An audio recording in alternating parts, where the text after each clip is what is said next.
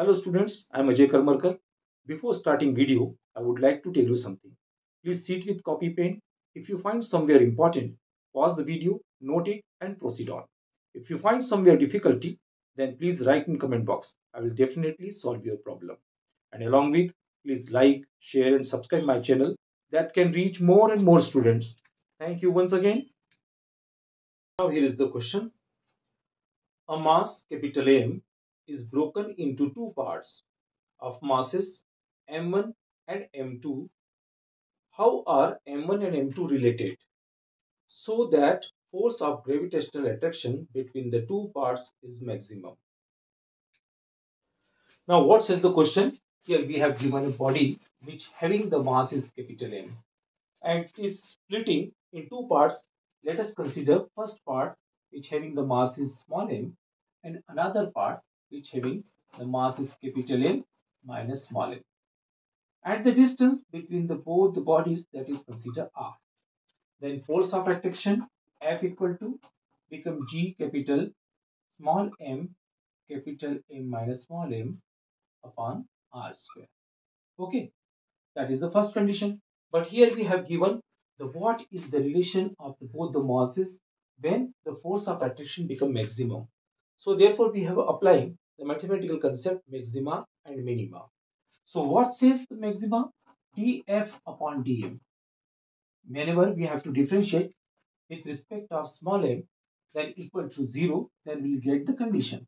So here basic that is the key point of this question. So differentiate.